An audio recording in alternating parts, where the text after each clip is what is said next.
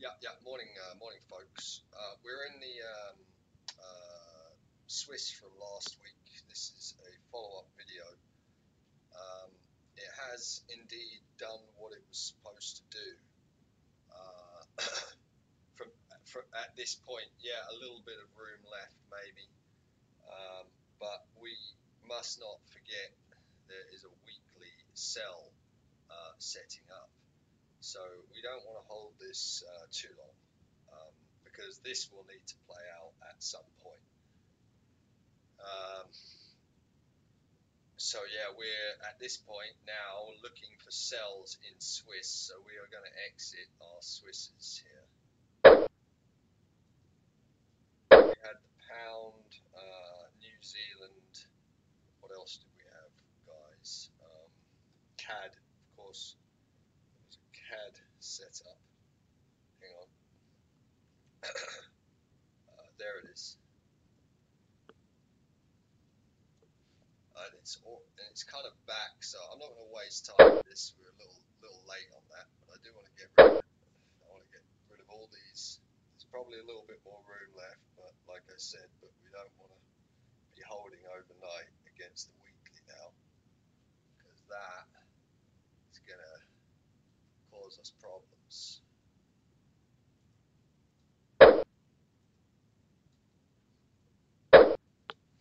Um, it's the same. We had we were watching this on the one minute yesterday, and everything played out, but there was a 15 minute um, sell in in yen, um, and what happened? Well, everything worked, but the the the, the one minute was not really um, en- enough power to go for any decent distance in time.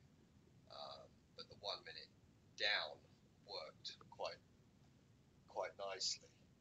Um, yens look like this, so I would imagine we're coming down here sometime soon as retail are far too long, and this will have to play out. If we go to a higher time frame, see a similar story.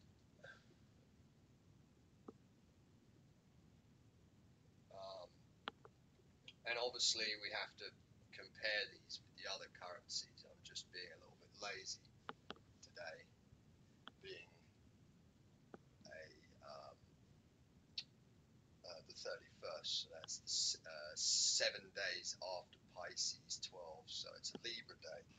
Uh, so I'm let's do stuff and then let's not do stuff manner uh, mood. Um, where are we here? Hang on. But we, we'll, we'll remember this 15 minute, okay, and then we'll change the rest of them. Oh, hang on, before we do that, let's just make sure we've got rid of all the Swisses. I think we did.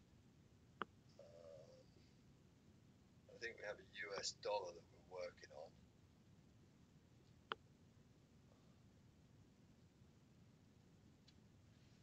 Oh, we've still got this. Let's get rid of that.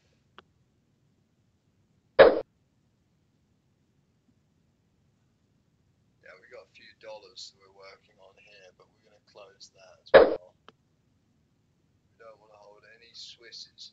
So now let's think if the Swisses go down dramatically on the weekly, um, that's going to give some power to the rest of the currencies. Uh, but dollar can go down as well with the Swiss. Um, yeah, so I think that's going to be our long-term trade here for the year. Um,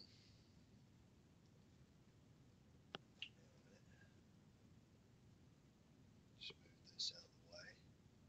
And we're saying here that we're, we're trying to see anything else on the weekly that's matching this. Okay, retail are too long.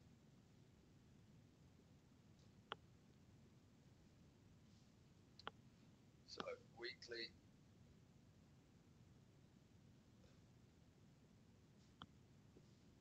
we have to zoom in a fractal or two. So it lines up at the same time frame.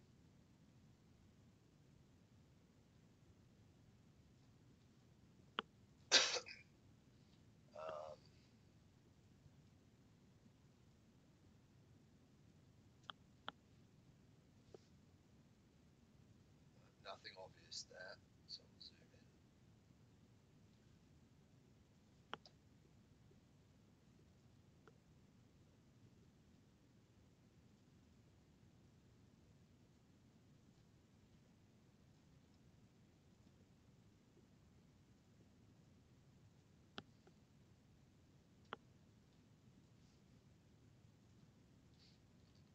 All right. Middle, middle, middle.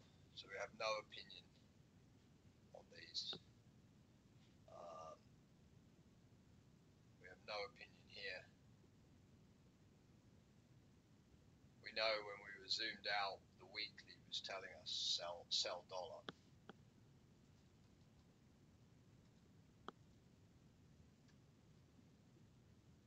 Yeah, up here.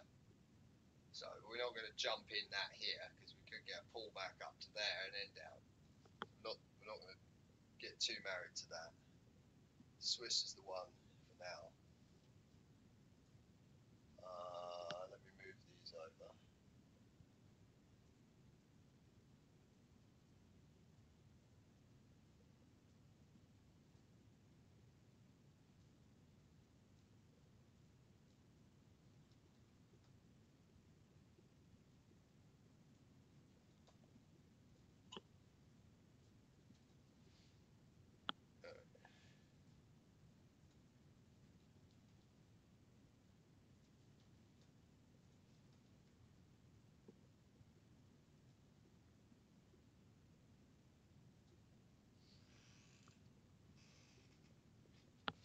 Same deal. New Zealand is in the middle. Aussie is kind of open. Right. We'll go back and we'll check here. Again. Maybe CAD as a buy soon, but it's it's a long way off. Uh, and now let's just bring the yens over here. Um, we mustn't forget this.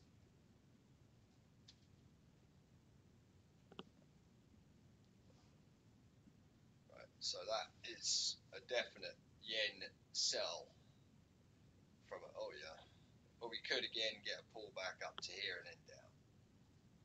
Uh, we wanted to be selling that up here, so um, if there's a 15 minute buy here, we'll take it up and then we'll sell it again.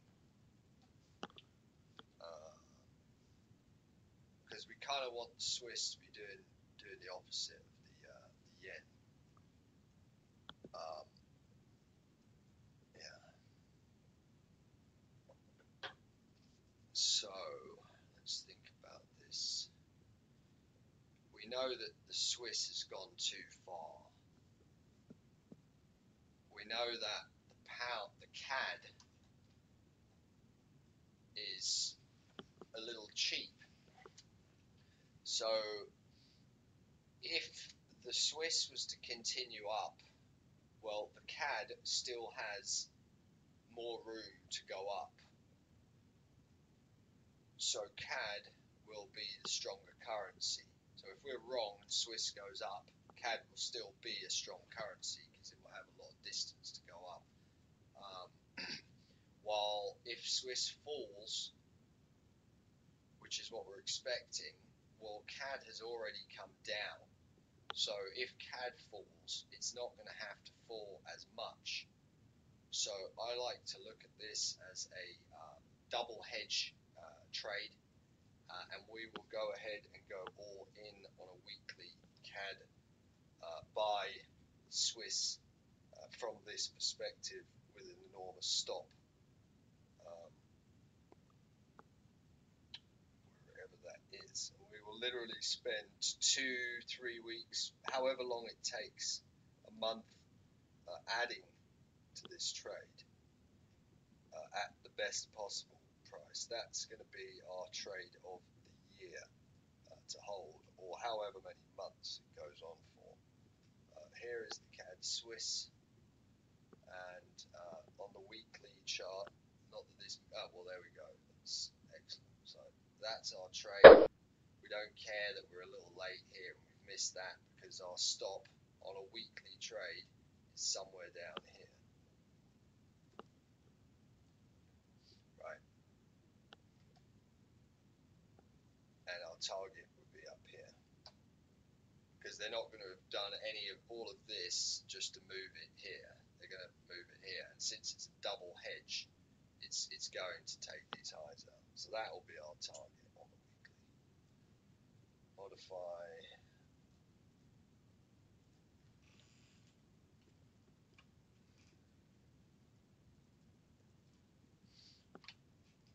That should get us somewhere in the game. There we go. Uh, that is our target. But they will take this high. And put this back down here.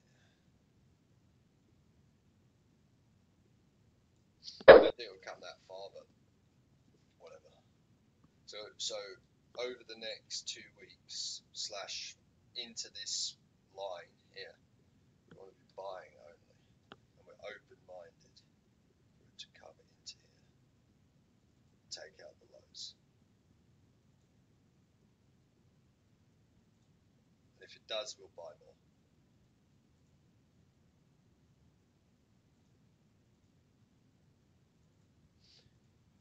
Yeah. All right, guys. Well, have a uh, have a have a great day. Hope that uh, hope that helped. I'll uh, I'll have some uh, more short term trades uh, videos uh,